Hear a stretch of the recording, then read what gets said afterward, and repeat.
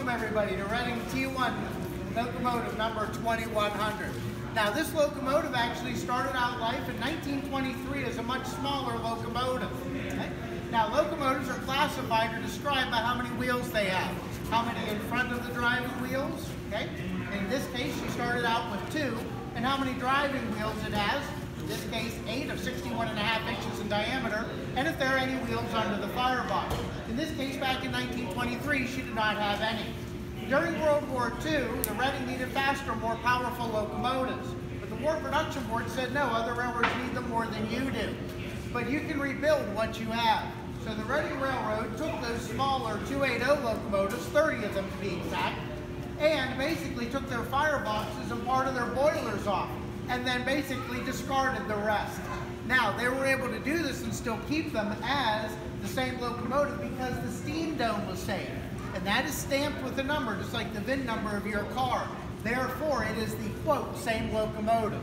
What the Reading Railroad then did is they made some of their own parts and also order parts for the Baldwin Locomotive Works. Okay? New frame, new wheels, new cylinders, built a new tender, basically converted this locomotive into a 484. Four wheels in front of the drivers, eight drivers, and then four wheels under the big firebox.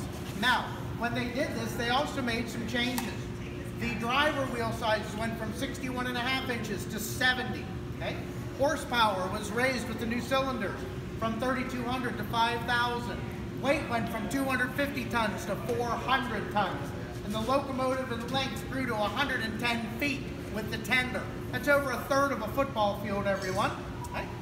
The locomotive was then capable hitting speeds upwards of 70 miles an hour. We actually have a speed recording off this locomotive going 82. Okay? Now that may not sound like much by today's standards, but please bear in mind this locomotive on flat level track on certain areas of the Reading Railroad was rated at 12,000 ton pulling capacity. Normally she pulled trains in the 4 to 7,000 ton range, but she could go upwards of 150 freight cars. That's what she was capable of doing. She served the Reading Railroad faithfully from 1945 to 1957. Now that's a very short life for a steam locomotive. Steam locomotives were designed really to run and last about 30 years.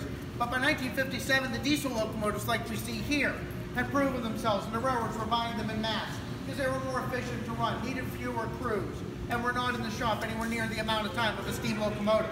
A steam locomotive is in the shop 31% of its life. It's only available about 69% of the time, kind of like an old Harley, for those of you that ride. As do I. The diesel, 92% availability, only in the shop about 8% of the time. And that's why diesels were switched over to. But the Reading Railroad saved four of the original 30 Reading T1s they built, painted them up very nice, and created what was called the Reading Rambles. And here's a picture of 2100 all nicely painted up. They ran these public excursion trains clear up until 1964 but by then it was all over. The Reading Railroad was in financial trouble, as many railroads were, and the locomotives were completely worn out. So she was sent to the scrap line to be cut up. However, that did not happen. A gentleman by the name of Ross Rowland in 1975 purchased this locomotive here and her twin sister, 2101, and created the American Freedom Train, okay, to pull the bicentennial celebration train throughout the country. 2101 was in a little better shape between the two locomotives. Okay?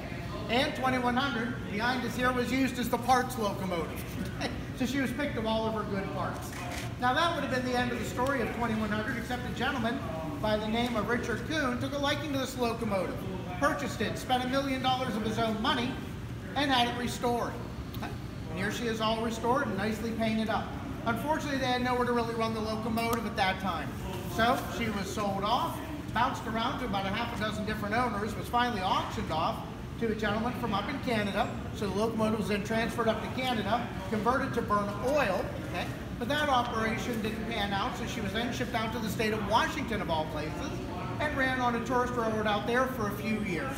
Before, again, that operation was closed down, and then the locomotive was put out on a siding, and there she sat, okay? Basically until 2014 where we, American Steam Railroad Preservation Association, was able to secure a long-term lease with the owner and bring the locomotive here to Cleveland, Ohio. There she is loaded up on a flat car. That's a little bit of the history here of the steam locomotive and how she wound up coming to Cleveland. Does anybody have any questions for us here at this time?